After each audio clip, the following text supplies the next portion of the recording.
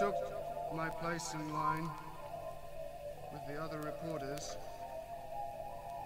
I recognized someone from an American network, but I had already been advised not to talk to him. When my turn came, I was led to the end of a dark corridor in the heart of the building. I was then allowed to peer through a thick glass window set in a steel door. I could see into